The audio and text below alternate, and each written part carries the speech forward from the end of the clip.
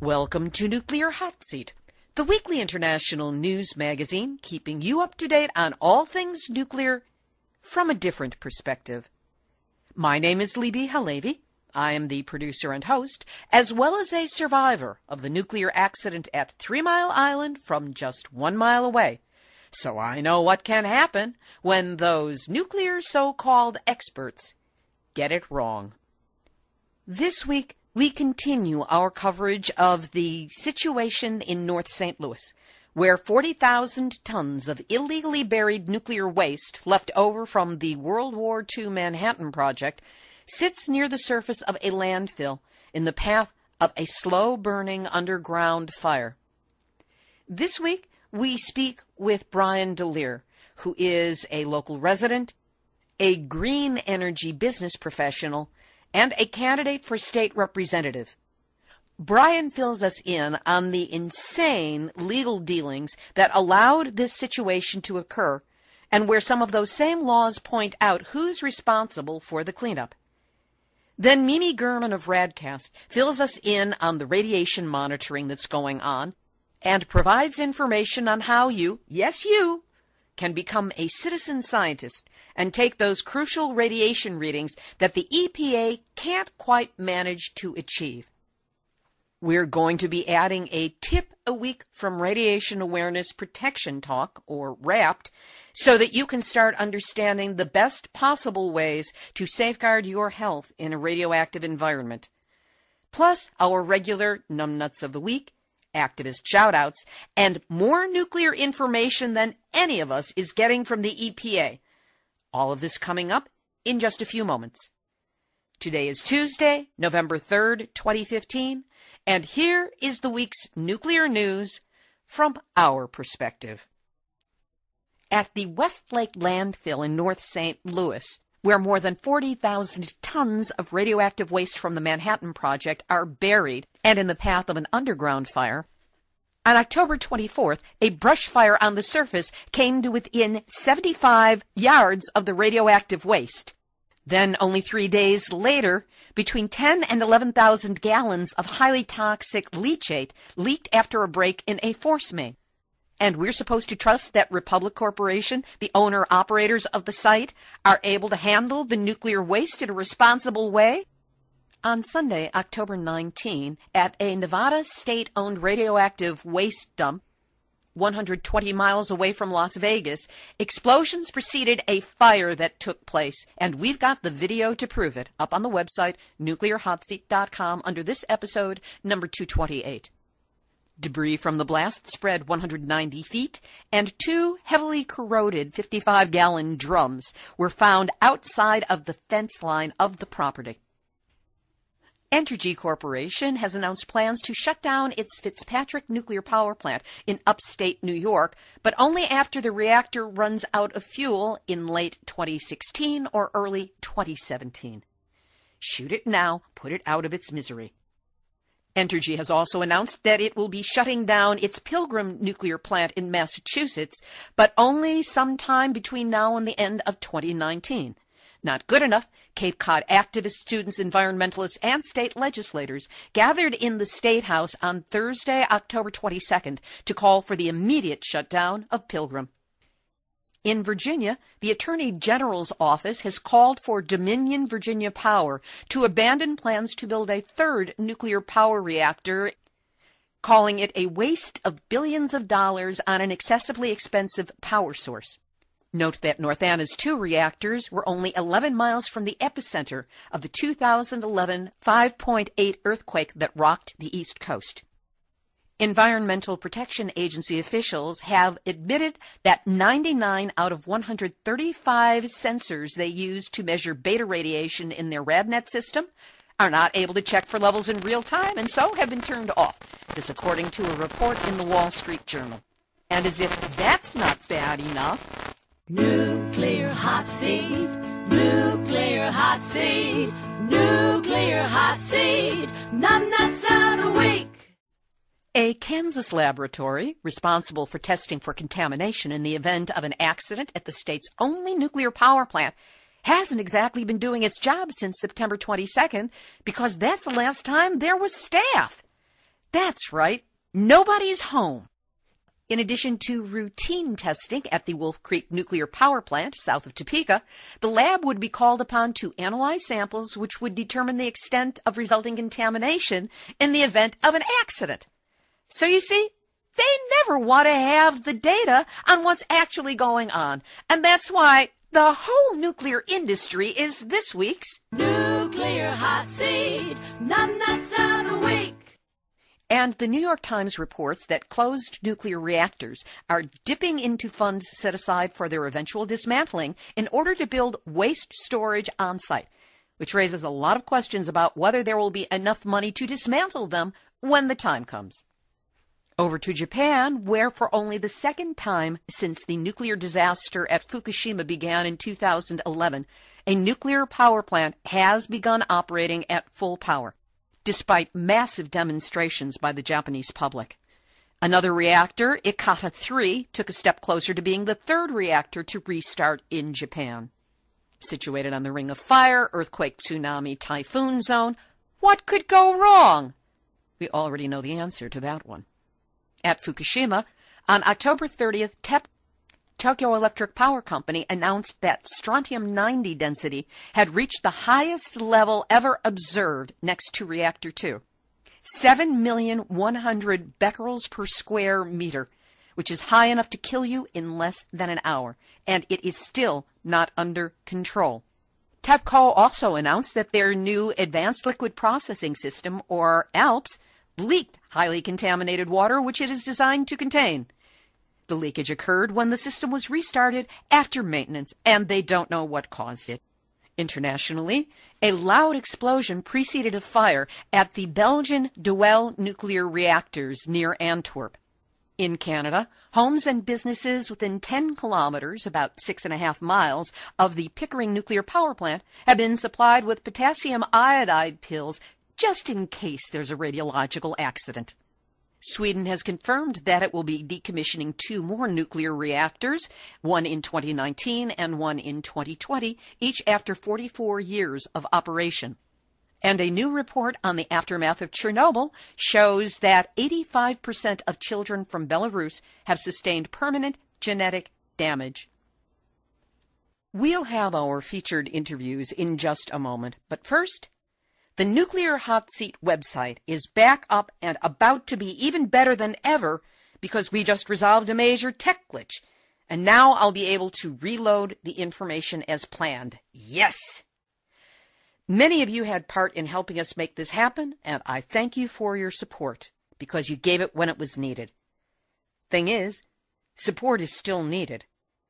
Nuclear Hot Seat has monthly operating expenses, and we've got our eyes on some plugins to make navigation even easier.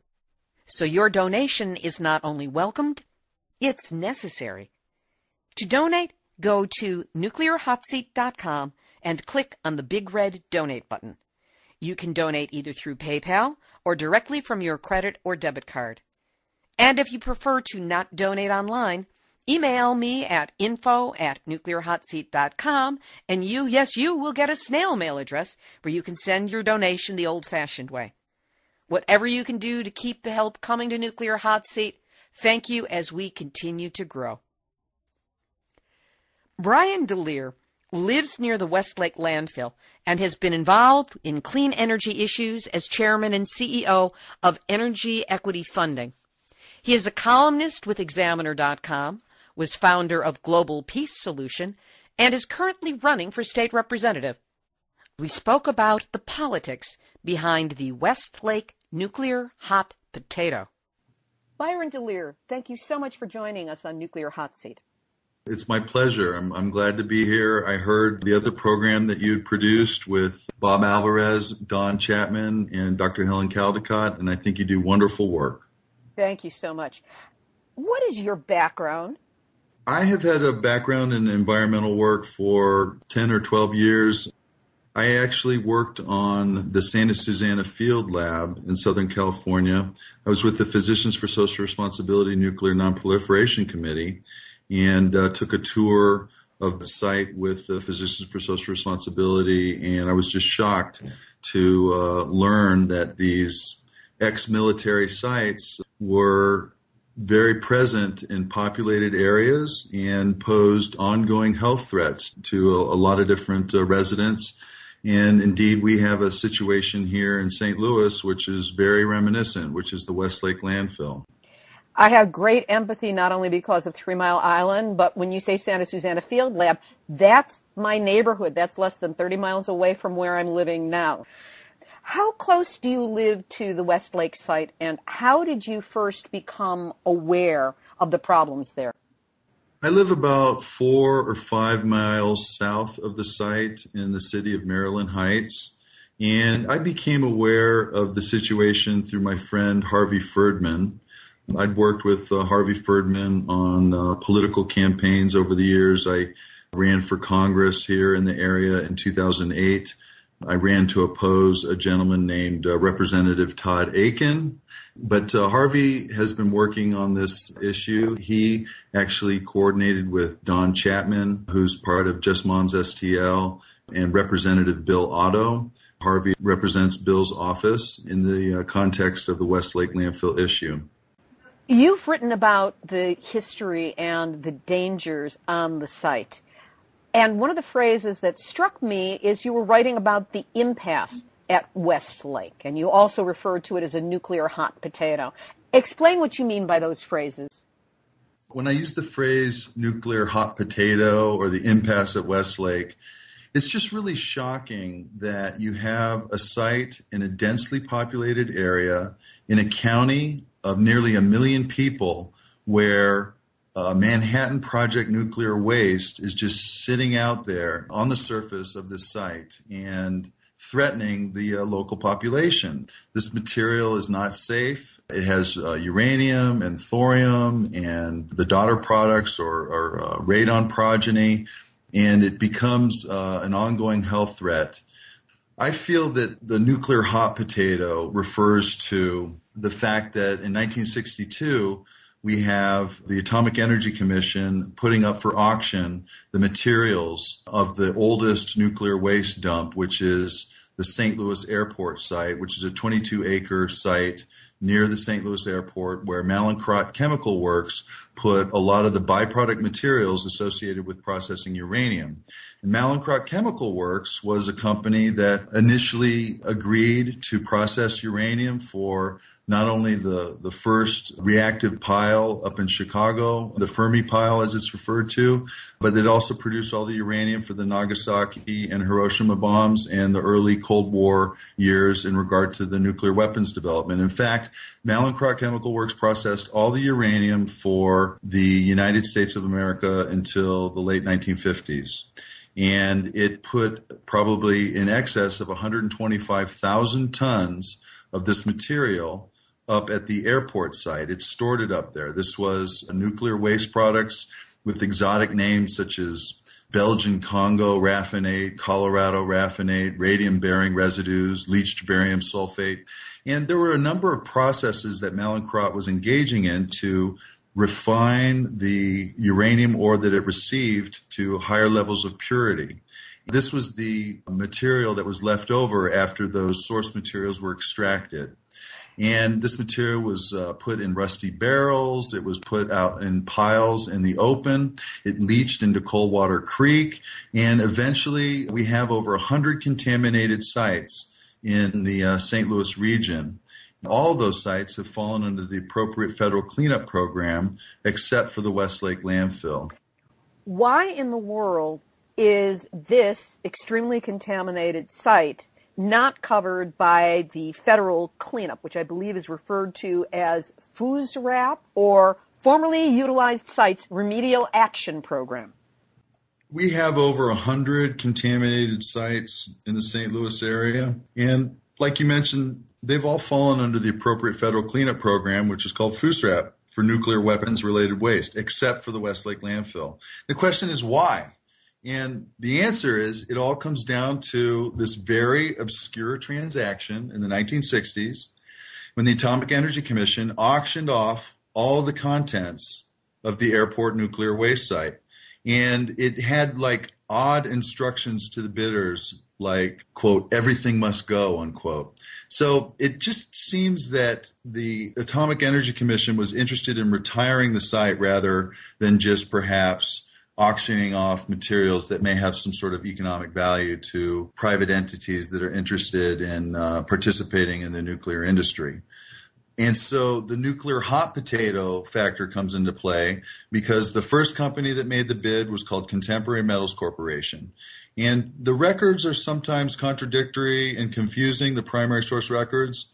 But Contemporary Metals Corporation either changed their name to Continental Milling and Mining of Chicago, or Continental Milling and Mining was a subsidiary of Contemporary Metals. But uh, the license was uh, then transferred to Continental Mining and Milling, and then that firm went belly up. Their uh, lender was called Commercial Discount Corporation. They acquired the materials and then acquired the license for the materials from the Atomic Energy Commission. And then they eventually sold it to Cotter Corporation, which uh, shipped much of the material to its processing facility in Colorado. But more than 40,000 tons were illegally dumped at Westlake. This was material that Cotter didn't really want to deal with.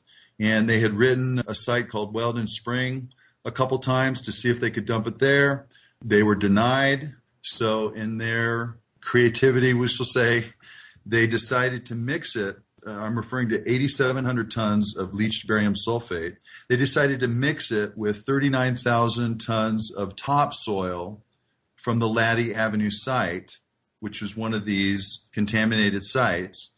And then, under the false rubric that this was considered clean fill dirt, they dumped it at the Westlake landfill.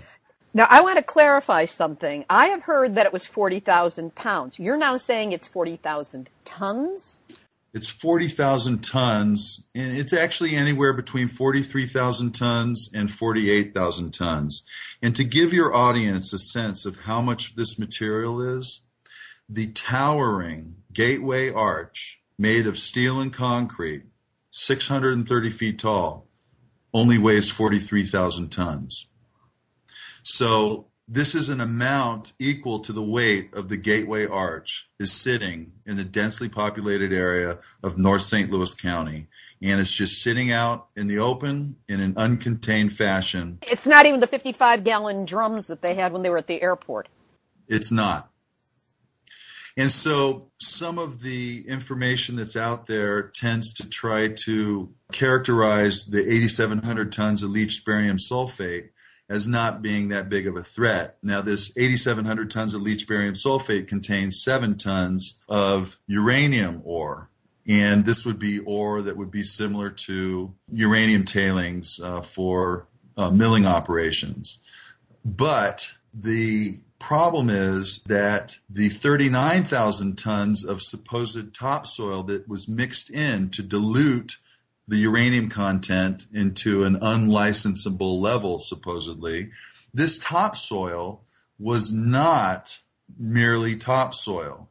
This topsoil was infused with uranium 238, uranium 235, thorium 232, radium 226, radium 228. This was the topsoil that was taken from Latty Avenue, which was one of the sites where they laid out all these exotic materials, Colorado raffinate, Belgian Congo raffinate, to dry. And after the dumping at Westlake, the Nuclear Regulatory Commission tested the Latty Avenue site and found very clearly that the Latty Avenue site had thorium and radium contamination in excess of the federal guidelines up to the uh, depths of 18 inches in the soil. And this is after it had been scraped up and mixed with the other material and dumped at Westlake. Correct. So many of these records are sketchy and uh, incomplete. In fact, the ombudsman for NIOSH, uh, Denise Brock, who has uh, done amazing work in securing compensatory funding for atomic energy workers in the amount of billions of dollars. Denise Brock states in no uncertain terms that Mallinckrodt's records are incomplete, They've been destroyed and in some cases purposefully altered. So, in some sense, we really don't know what's dumped at Westlake. We really don't know what's there. and the site has never been fully characterized. And so, this is one of the things that we're calling for as the most basic, responsible handling of the situation is to actually do a grid like full characterization of the site to see what's really there. It's a question for me as to whether there's even time to do that with the fire encroaching on the site. But with your connections in politics, how is this playing out? Is there any kind of response that's happening from local politicians, from, say, the representatives, from the city council in St. Louis? What has been the political outcry or lack thereof in connection with what's going on? This refers to the impasse at Westlake, and it's shocking because we really have bipartisan support to reevaluate this site and put it under the Army Corps of Engineers to get it cleaned up. Senator McCaskill, Senator Blunt have both signed a letter. The uh, St. Louis County Council has issued uh, statements in regard to this site and the necessity to move it over to FUSRAP. But the reason why this site has been orphaned, if you will, is because of this obscure transaction. And the federal government today asserts essentially that it's not responsible for the cleanup because it sold the material to Cotter Corporation. But what's amazing is in the last few days, I have been studying some primary sources and, in particular, the enabling legislation with regard to the Atomic Energy Commission, which is the Atomic Energy Act of 1946. And what that act says, in no uncertain terms, is it says that the Commission has the right to distribute materials with or without charge distribute these byproduct materials, which are the wastes from the uh, uranium processing that Mallinckrodt conducted. But, and here's the key clause the Atomic Energy Commission shall recall any distributed materials from any applicant who is not equipped to observe or who fails to observe such safety standards to protect health as may be established by the Commission or who uses such materials in violation of the law or regulation of the commission or in a manner other than is disclosed in the application therefore. This exactly describes the material that was dumped at Westlake, and it means that the federal government has a responsibility to clean it up. And this exact clause is repeated in the amended version of the law which is the Atomic Energy Act of 1954. And in fact, in that law, it describes what byproduct material is. And it describes byproduct material as the tailings or wastes produced by the extraction or concentration of uranium or thorium from any ore processed primarily for its source material content. Again, this exactly describes the material that was stored at the airport site it exactly describes the material that was sold to uh, Cotter Corporation, and it exactly describes the material that was dumped at Westlake. So the legislative intent here is absolutely clear. It basically says that the Atomic Energy Commission has the wherewithal to be able to distribute some of these byproduct materials for research or for other such uses. But if this material ever is mishandled or treated in a way that threatens the health of a community, or if this material is used in a way that it's not licensed for, the federal government shall recall that material, which means they are responsible to uh, pick this material up. And right now, the Department of Energy is essentially the inheritor of the Atomic Energy Commission's role and responsibility. So, by my lights, it appears that the Department of Energy has a primary responsibility to retrieve this material as expressed by the people of the United States through their representatives through the federal law passed in 1946 and 1954. So clearly, by law, this is on the head of the feds to clean up. What, if any, progress has been made in bringing this to the attention of President Obama or the necessary representatives who are in Washington, D.C., so that action can be taken. So, I've spoken to some contacts in Washington, D.C., that are nuclear policy experts, and they think that this uh, legislative intent holds water. Although the legal theory, you know, may need to be played out in a court of law certainly what it communicates unequivocally is that the federal government has a responsibility to retrieve any material that's threatening any population. It's just interesting because nobody has really brought this to light before. And I think that it's important to do so because it shows that the enabling legislation for the Atomic Energy Commission is very clear in its intent. I think that perhaps in the changing of the guard from the Atomic Energy Commission to the Nuclear Regulatory Commission, the federal government dropped the ball and failed to follow the law. What strikes me about this is it sounds like the feds are fiddling while Rome or St. Louis burns. Because if they say they need to study it, they need to come up with whatever they need. We're talking about a landfill fire that is estimated to intersect with this radioactive waste in, at this point, two and a half to five and a half months. So has there been any effort made, either by your Governor Jay Nixon declaring a state of emergency or getting President Obama's attention, or any of the so many nominees or intended nominees or hopeful nominees for on either the Republican or the Democratic side to step forward and take over and take some responsibility in this? You know, I get a feeling that many of the political actors, including, you know, Governor Nixon and even the White House, are sort of orbiting around this issue and trying to bide their time to determine what it is that they should do. Because at the end of the day, what we're really talking about is a half a billion dollar or perhaps even a billion dollar cleanup for this site. And it's just leading to a state of administerial paralysis.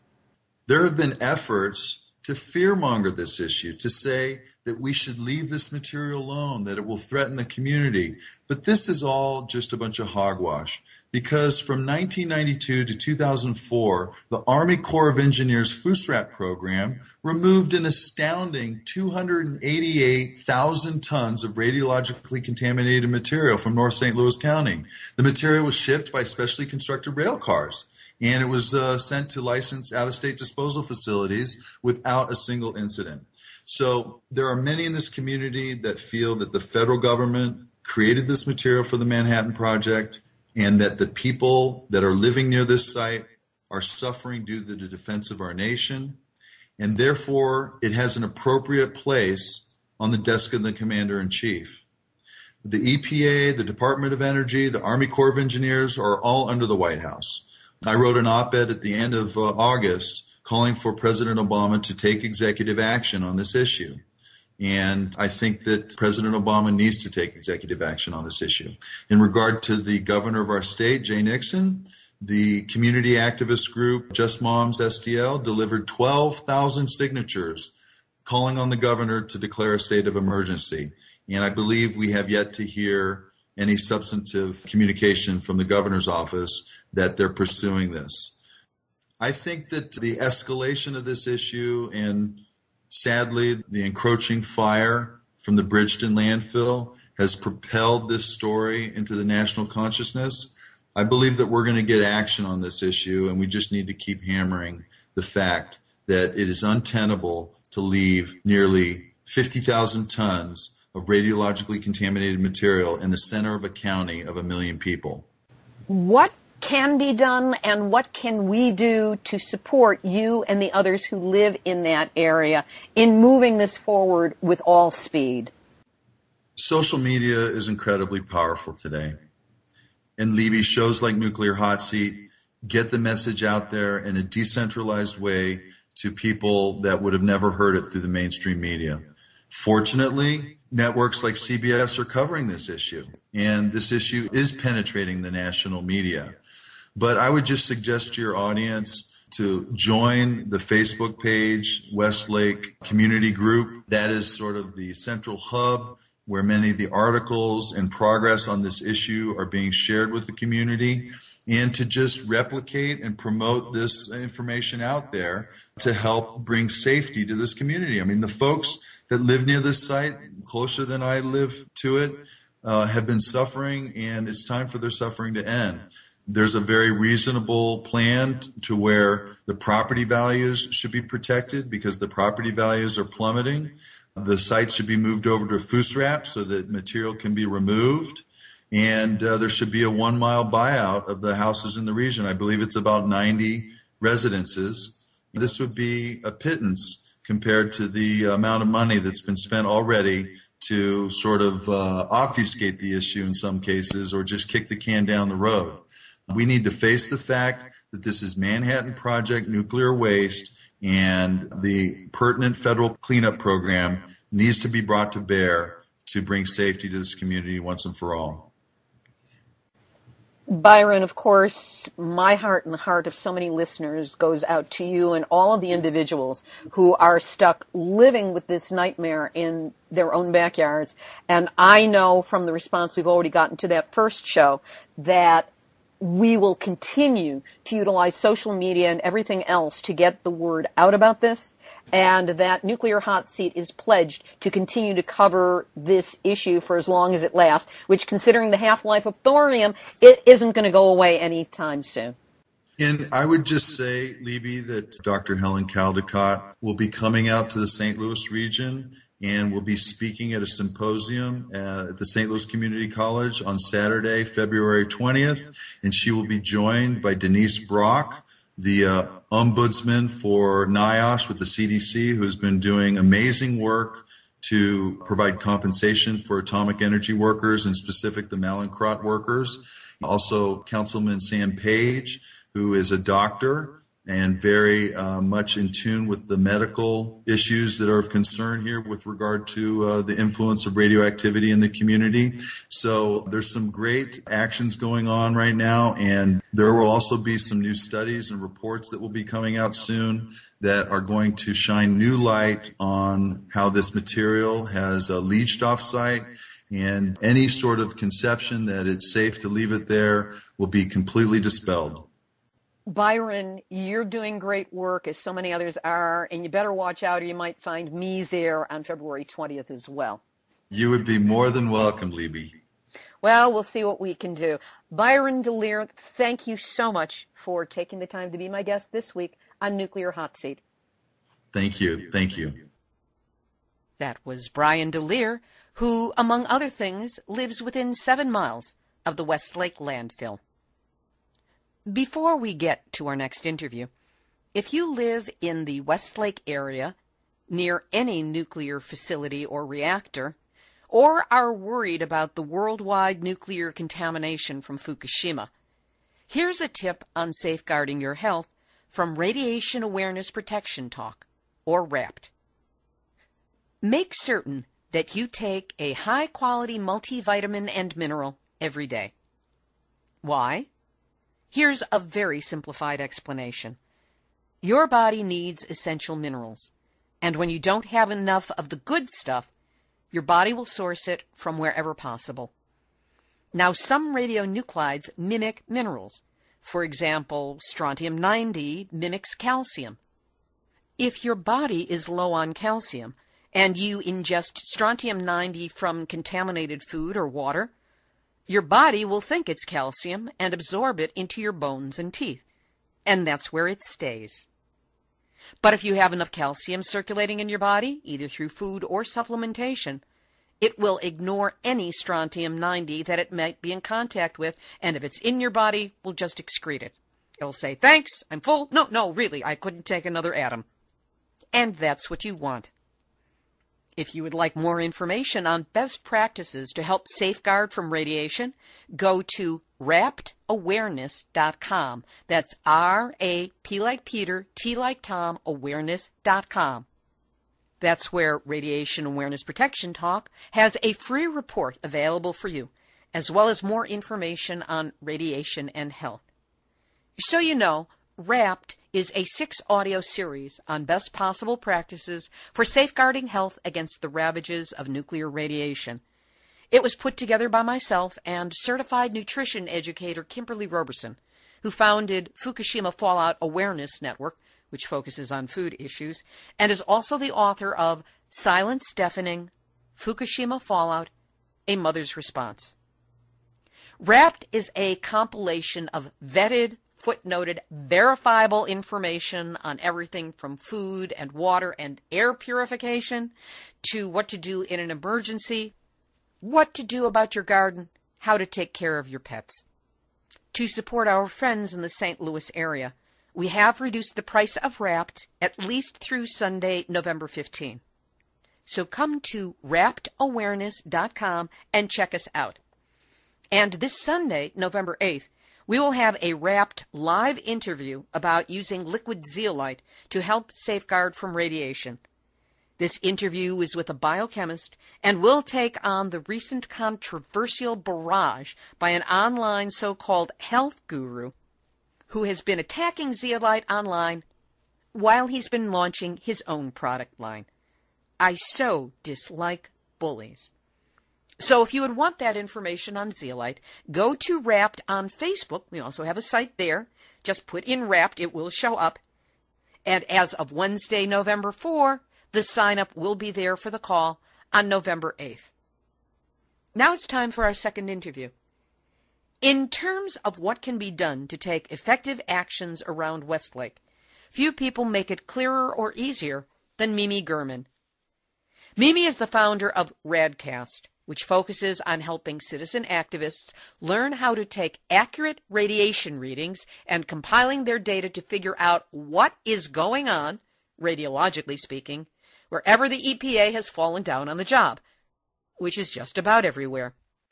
Mimi, from your position as the founder of Radcast and someone who's been very involved in radiation readings and knowing how to interpret them, what are you seeing coming out of the West Lake landfill situation in North St. Louis? We only have a few readings at the moment. We've just begun the process of teaching people in the Westlake area what they need to be doing. And from the readings that we've received, and really it's only been about nine readings, I can't get a good picture from that few amount of readings. So what I'm seeing is on one side of a house, I'll see a reading that differs greatly from the other side of the house. Why? There's a different amount of radiation on one side of the house from the other side of the house. What I know is that this particular house, which is about seven miles out, has taken a couple of readings from the same area and we're getting the same results. So the next question is why are we seeing more radiation on one side of the house than the other side of the house, north to south or east to west? Well, the next step is to take a soil sample from both yards, both sides of the house to see if any dust settled, if any of the soil from whether it's, you know, the creek or West Lake has settled on one side of this person's property so we need a lot of information and a lot of data in order to let people know what's truly happening. And that is our goal. What does it take for someone to become involved in the testing process? I mean, is it as simple as you buy a radiation meter and you take readings? Is there a learning curve? How difficult is it and what do they have to do in order to proceed? People can get in touch with me. I can put you in touch with one of the best Geiger counters that you can have, which is simple to use. I send you protocol on how to use it. I can tutor you in how to take tests, which are very easy to do, and you're on your way. All of the results from the tests that you take get emailed to me and I record them on the Radcast report. You are free to do whatever you want with the same numbers, but I keep all of your results on the Radcast report for the general public to see at any given time. How many readings would you need throughout the area and to what distance in order to have enough of a sample to start seeing patterns and being able to read what's going on there? If we're seeing the same areas being tested by the same people, whatever their particular areas are, and I'm receiving, let's say, 50 reading samples from each of those people, I'll start to be able to put a picture together. But 10 readings is not going to tell me anything. Anything can happen after those 10 readings. So that's why it's imperative that people start to come together in the area of West Lake and decide who can pool money to get a meter, who can share these meters. You don't have to have individuals having meters. You can share these and get these readings done so that you can have the information that you need to understand if you are safe. This, of course, begs the question where is the EPA in all of this? Because they're the ones who should be doing these readings and providing the data and informing us what the results actually mean. Where's the EPA? The EPA is as invisible on all of this as radiation is invisible to us. The EPA plays a game of whack a mole. They are in charge of monitors. They have large monitors that are incredibly efficient. The latest messaging from the EPA is our monitors, almost 80% of our monitors, are broken. I don't believe them at all. I find that impossible. Why do you find that impossible? It's a governmental organization to have only 20% of what you have in place across the United States working, just it's a lie. It doesn't take rocket science to put a monitor together or to fix a part of a monitor that's broken. We have people out there, people at in colleges and universities, in nuclear engineering programs who can come out and fix these monitors. So to say that these monitors are broken is just another way to obfuscate the truth, which is they are overwhelmed, the EPA, with radiation sites, radioactive sites across the United States that everybody is waking up to due to the amounts of cancers that they cause. And the EPA is responsible for telling us what's going on and then dealing with the problem. And if they pretend that there is no problem because they've turned their monitors off, all of a sudden there is no problem. So this is what they've done. In St. Louis, their monitor has been off since June. They just turned their monitor on, I believe, due to the pressure of the people at West Lake um, about a week ago. And correct me if I'm wrong, but you're saying monitor, meaning one? One. For all of St. Louis? One. There is one monitor there. It is a RadNet monitor. That's what the EPA has in place. Um, they have one monitor per area. There are maps out of the monitoring system that anybody can find. If you look up, I'm not sure of the exact site, but it's if you look up the EPA RadNet maps, you'll find it. And you'll see there's one monitor in Washington state near Hanford. By the way, that's shut down. There's a monitor towards Seattle. That one's on. There's a monitor near Portland. That's shut down. There are monitors in California, most of which are shut down. Again, they're saying that 80% of their monitoring system is broken. Then what are the workers doing at the EPA? What is their job? We have individuals whose job it is to deal with the information from these monitors. They still have jobs. So my question is, what are they doing? They go to work. It also strikes me as absurd because depending on the way the wind is blowing, if the monitor is not in the right place, they can completely duck out on any reading or get a false reading or a diminished reading. There have never been enough monitors put out by RadNet. And the fact that they turn them off and on at, it's basically whimsy and I say that because they turn them off when a nuclear plant like the Columbia Generating Station in Washington State, when it's refueling and RadNet monitor situated at Hanford gets shut down, that's whimsy. That's also covering posterior because we know from other reports that when a nuclear reactor is being refueled, that's when the radiation spikes. And they cover that number they should only have a number by averaging it out as the radiation exposure over the period of a year. So even if you're getting it in a very concentrated period of time when the refueling is taking place, it doesn't look that bad. It looks quote unquote low level because they've strung it out over 12 months. That's exactly right. And during the closure of the Columbia Generating Station, as an example that happened this past summer, I was watching the EPA RadNet go on and off while CGS was refueling and moving fuel and watching these spikes happen. And as spikes would occur, they would shut down their monitor. And this shutdown, is this done on site by somebody climbing a ladder and flipping a switch? Is it done from a central office? Is it done by satellite? How is this affected? I believe, having seen uh, some of the RadNet monitors, that I'm not sure, I'm not positive. I think that there is a way to shut it off manually, and they must have a way to just turn the computers off, which is what I think they do. I think they just turn the computer feed off. So the monitor might be going, but whatever it's reading is not being, nobody can see it. It's going into the abyss.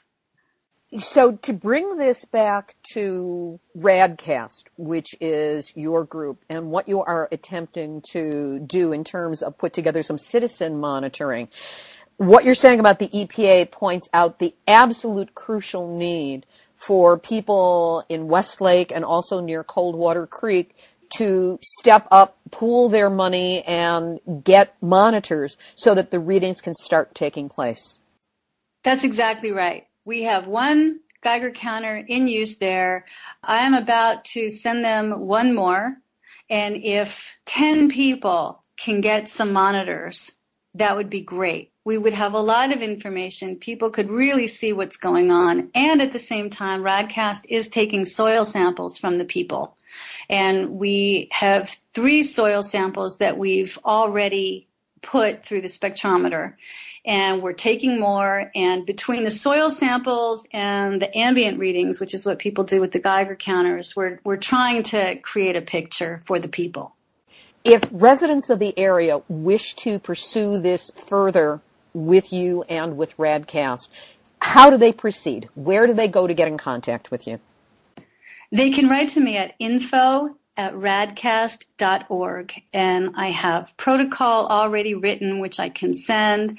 I have a coupon that I give out for the Geiger counter that I recommend. The reason that I recommend this Geiger counter is that it's a really good, well tested Geiger counter. We understand these Geiger counters. We have used these. We have tested many. Many of us in the citizen science world of radiation reading, and there are many of us out there in all states in the US and in different countries using these same meters, we know how good they are and how easy to use they are. And when you say you provide a coupon, what does that mean? It gives you a discount so that you have access to a Geiger counter, which would normally be close to $700 for $550. It also gives you access to the company that makes them. It offers you a guarantee with that if you buy directly from them as opposed to going online and buying through, you know, any sort of online site that sells Geiger counters because there are many. And it assures you that the Geiger counter is going to work the way it needs to work. You also get me. I will be your tutor. I will help you. You can call me once you get it to have me walk through how to do time tests, how to walk around, how not to use the Geiger counter. Any questions you have, I am here for you. We all need the information that you are living in. And you don't have it we don't have it. The EPA, if they have it, won't give it, though I don't know if they even have it, though. I, they probably do. I'm sure they do. So it's really imperative that we put the science together and that we take the moves and understand that this is not rocket science. This is about seeing the invisible, and there are ways for us to do that, and they are not scary when we have the tools to do it. What is scary is not knowing what is around you. That's very scary.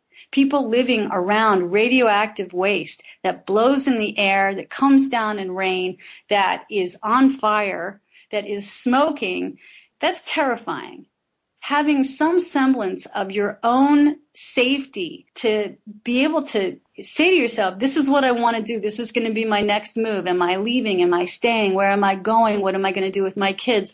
All of that is part of your toolbox of knowledge. You get to decide those things when you have the information. And I just want to help you get the information. And I want the information as well. The world wants the information as well. And you have to supply it. Mimi, we're going to stay in touch with you to learn more as you learn it about what the radiation levels are. For now, I want to thank you for once more being my guest on this week's Nuclear Hot Seat. Thank you for having me. That was Radcast founder Mimi German. To learn more about how you can participate in collecting radiation readings from your area, and this is not just for St. Louis, this is for anywhere, go to radcast.org and contact Mimi directly at info at radcast.org. Activist shout out, a woo and a who to Mary Olson, who is director of the Southeast Office of Nuclear Information and Resource Service, or NIRS. Mary is an expert on the impact of radiation on women and reproduction and has presented her information at the United Nations, at Dr. Caldicott's Symposium of the Dynamics of Possible Nuclear Extinction, and here on Nuclear Hot Seat in an interview we labeled Atomic Eggs. Well, on December 8th, Mary will participate in Gender Day in Paris as part of the 2015 United Nations Climate Change Conference. Isn't it nice that they should give half the population of the Earth its whole entire day? One out of 12? Be that as it may, Mary has been given five minutes to talk about radiation and its disproportionate impact in relation to gender. You would be amazed what this woman can do with five minutes. She would be in Paris, but alas, a broken ankle has kept her from even crowdfunding to make the trip, so she'll be participating through Skype. Meanwhile, we will be replaying her nuclear hot seat interview on atomic eggs for next week's show. It contains important information for women who have been exposed to radiation on their own health and what they must know if they are planning to have children. Here's today's final thought. In putting this show together today, I was struck by an article that I found that came from ENEnews.com. It was about the emergency response to the explosion and fire at the nuclear waste dump in Beatty, Nevada less than 120 miles northwest of Las Vegas, but also approximately 18 miles from the Nevada test site. At a meeting of the Board of County Commissioners for Nye County, Vance Payne, the Director of Emergency Management, reported Our federal partners from the Department of Energy put to bear resources I've never seen before. It was amazing. There were overflights of aircraft with special monitoring equipment that was put in the air just as fast as they were able. They did it on the ground. The civil support team came down from Reno and they came down in a hurry. It was amazing how fast they moved their teams.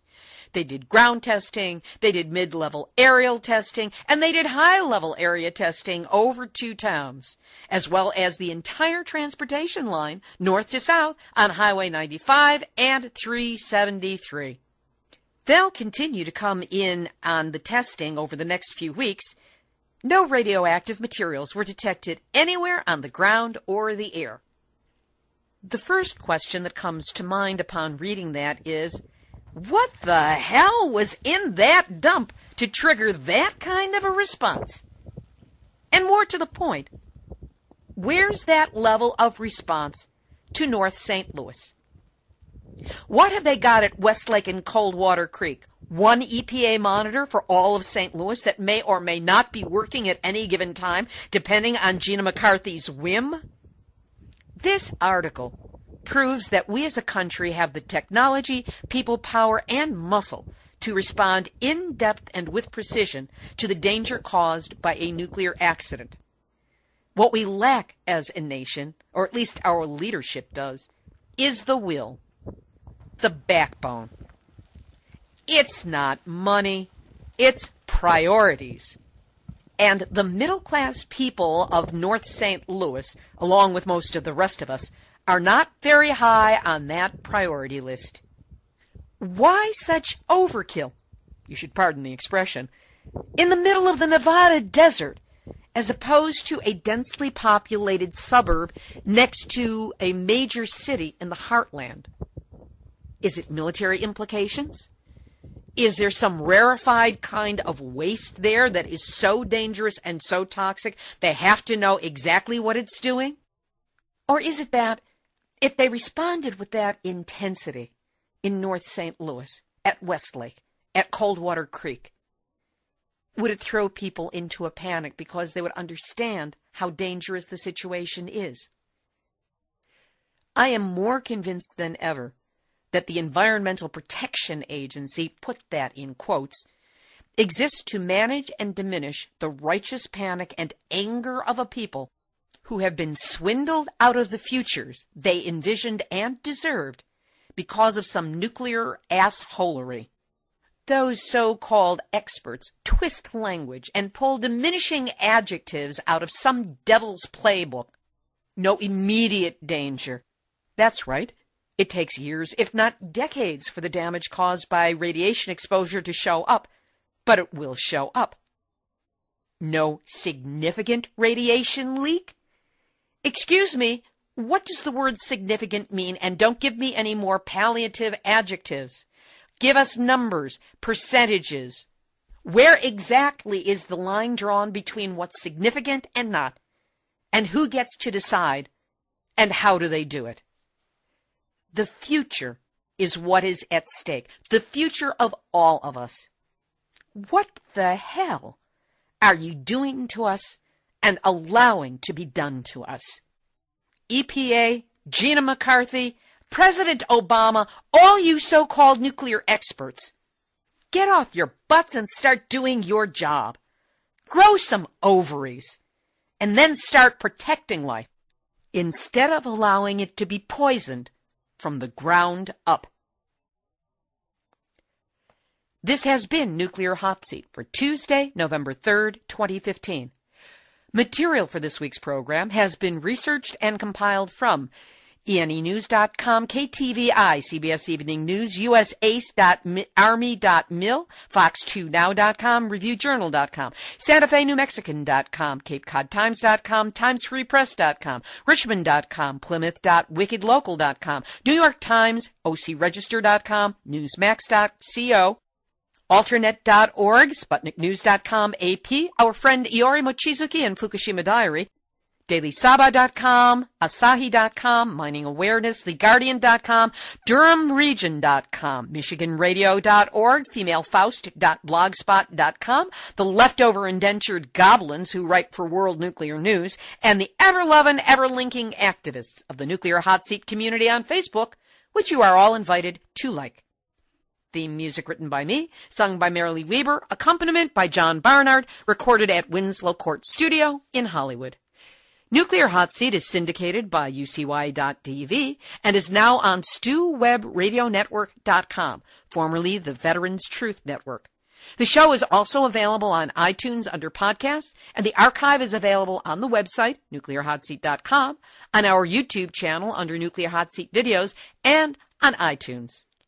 Three people I neglected to thank for their help with last week's West Lake special, episode number 227. Maggie Gundersen and Arnie Gundersen of fairewinds.org and Kevin Kamps of Beyond Nuclear. Nuclear Hot Seat is the activist voice on nuclear issues, so if you have a story lead, a hot tip, or a suggestion of someone to interview, send an email to info at nuclearhotseat.com. We are copyright 2015, Libbe HaLevy and Heartistry Communications. All rights reserved, but fair use allowed as long as proper attribution is provided. This is Libbe HaLevy of Heartistry Communications, the heart of the art of communicating, reminding you that just like rats jump off a sinking ship, remember that Bill Gates sold all his stock in West Lake Landfill Operator Republic Services just as soon as the emergency plan went public. See? We've all had our nuclear wake up call. Now don't go back to sleep because we are all in the nuclear hot seat. Nuclear hot seat. What are those people thinking? Nuclear hot seat. What have those boys been drinking? Nuclear hot seat. The corium is sinking. Our time to act is shrinking, but our activists are linking. Nuclear hot seat. It's the bomb.